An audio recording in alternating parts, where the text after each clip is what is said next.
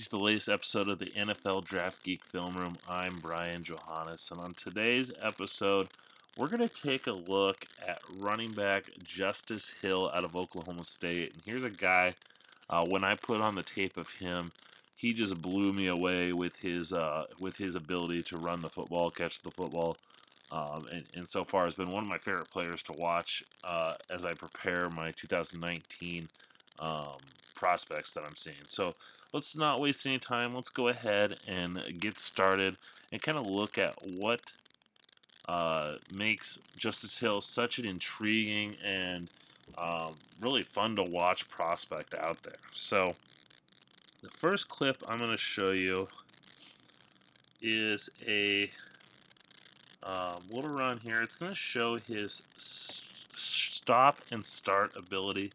Um, so here he is running out. You know, Oklahoma State is one of your true spread-based teams, so they're always out of the shotgun. Um, he'll line up behind the quarterback in a kind of a pistol look. He'll line up to his side.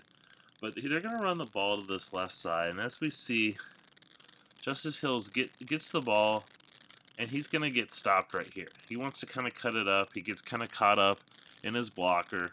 Um, but he's able to kind of stop and make a quick lateral move to elude this defender and then accelerate around the corner end up getting a touchdown out of this. And they're going to show another replay of it here. But you know he that stop and start ability you know to elude the defender. Right here he gets caught up sees these guys coming. He knows he's not going to be able to cut it up inside. So instead of just just taking you know just going down you know, live to fight another day. He's able to make this quick lateral cut to the outside, get around, and then just beat with pure speed um, to the edge and get get that touchdown. Now he's not a burner. He's not a guy that's going to run like a four three or a, you know sub four three forty, but you know he's got enough speed. He's got enough burst and explosion that he's able to reel off those long runs, and that's going to become evident in this next run that I have, it's actually this very next play, um, it's going to be a run to his right. And um, a couple things to kind of look at here. As he's running to his right, you see a lot of this explosion. Look at that quick cut, gets upfield. He's able to make quick moves to get to open areas, you know, whether it's moving laterally, uh, even downfield, you know, going north and south. He's able to make a quick, explosive cut to get to the spot where he's needed. But what I like here is, as you can see, he's going into a little bit of traffic. He's able to maintain his contact balance, maintain those hits, and keep running. And he ends up reeling off a long run here. Um, he got kind of cut off by an angle, but he's able to, as you see, make that quick cut, get into space, keep that contact balance. He didn't go down. He could have easily gone down on that run, but he's able to maintain his balance you know, regain, regain his footing, accelerate into the open field, and reel off a, uh, a long run and what was almost uh, a touchdown. Okay. Uh, you know, he's a smaller running back, you know, 5'10, 190 pounds.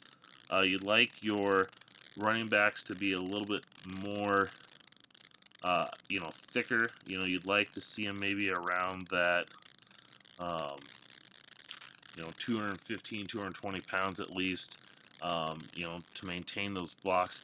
But the thing is about Justice Hill is he runs with power. He's not a you know a, uh, one of those these receiving backs or outside back who um, you know is is going to use his speed. He has some power to his game and and there's plenty of times that he's able to get those extra yards. He's always falling forward um, because of this power. And it's going to show right here this very next play. So he just had that long run.